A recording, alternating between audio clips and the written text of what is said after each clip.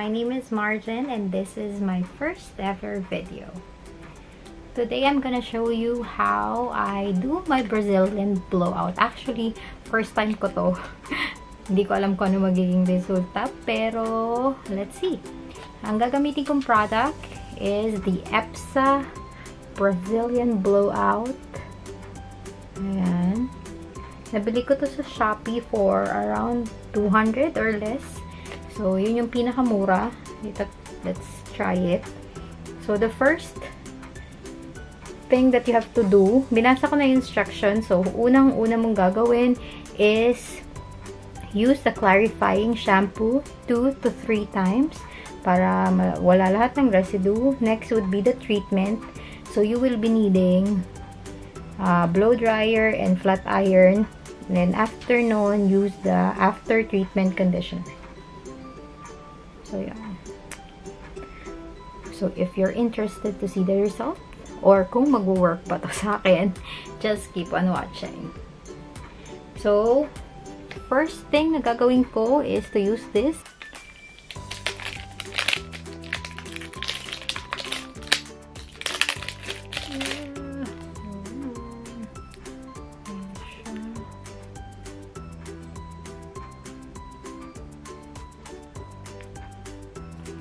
Number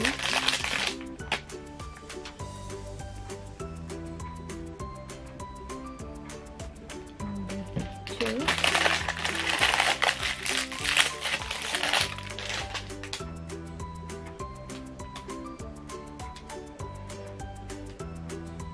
Number one. Amoy natin. Mmm. Smells like chocolate. Anyway, I'll show you kung ano ang itsura ng aking hair. So, before we start doing the Brazilian blowout, I'll show you my hair. So, yan. Chaka. Joke. So, yan yung hair ko. Overly treated talaga siya.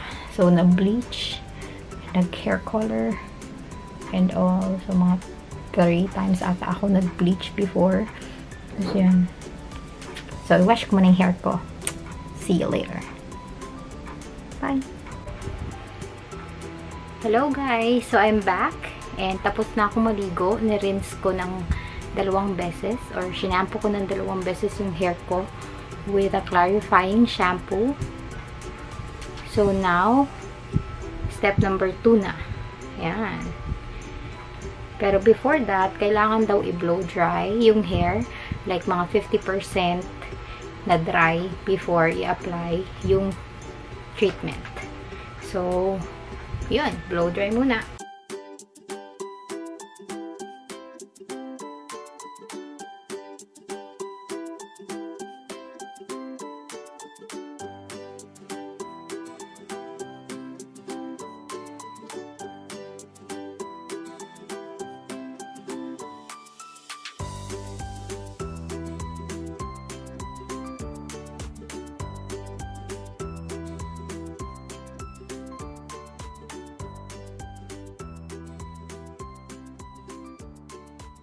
So, tapos ko na i-blower yung hair ko.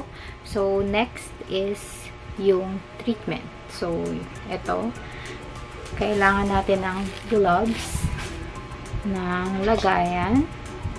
Ayan. Or if may disposable pa, um, disposable kayo, pwede rin. And, yung applicator. So, yun. Pero kahit kamay lang, pwede na rin naman. Kung wala kayo nun. So, let's start. So, first, isa-separate muna natin yung hair. Ayan. Ilahin ko yung ilalim. Pataas.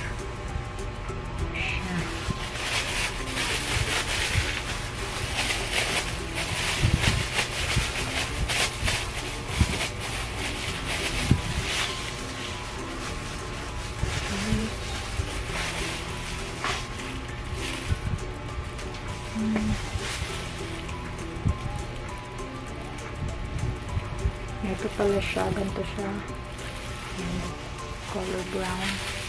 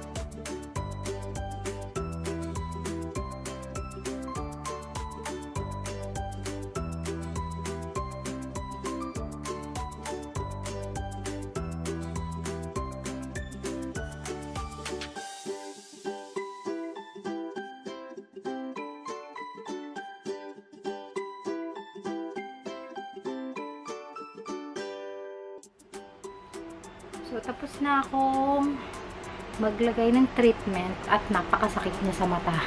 Oh my God. So, tinapos ko na siya and then nag-shower cap ako.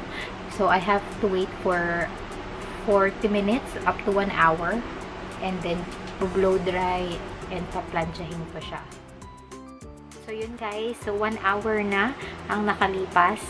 Ibo-blow dry ko na siya. Dapat completely dry bago ipa-flat iron. So, let's get started.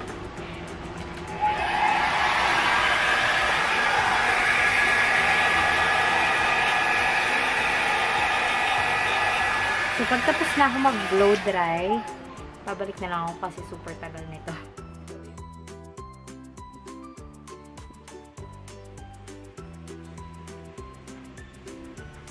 So, na-blow dry ko na yung hair ko. Next naman is, paplansyahin ko siya. Gamit ito. So, yun. And I'll be back.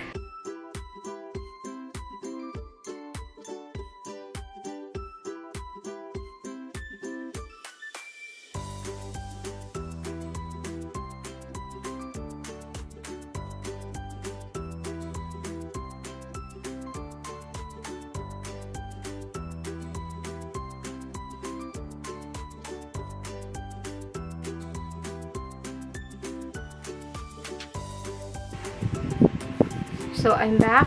Tapos ko na planchahin yung hair ko. So, next naman is, i-rinse ko siya ulit.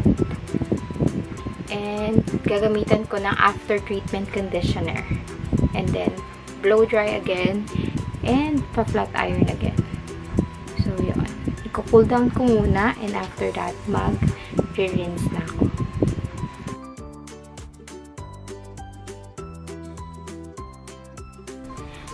So hi guys, I'm back and this is my final update regarding my Brazilian blowout. So it's been a week since nung nag-Brazilian blowout ako and this is the result.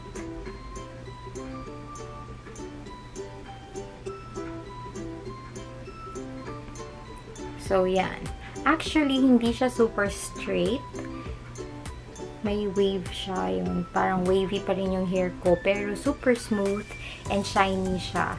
So, I'm very happy sa result.